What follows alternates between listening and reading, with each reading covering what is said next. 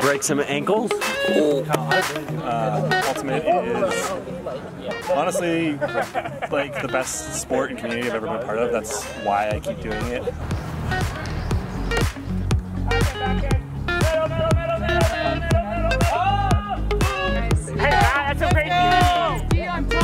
Taco. That. They got a Dion. Okay, don't force a throw. Don't try something that's that's tight. Came from when I was playing, being seven people who never won a game to this team regularly going to regionals and all the dedication that people have, how much they love playing. Well, around, around.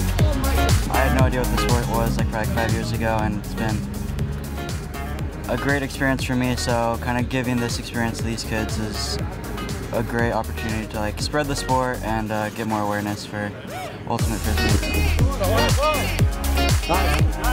Um, hey, you guys played. You guys played great today. Come on, like your guys' defense was intense. Let's keep running it for a little bit longer and we'll go. Up on three. One, two, three.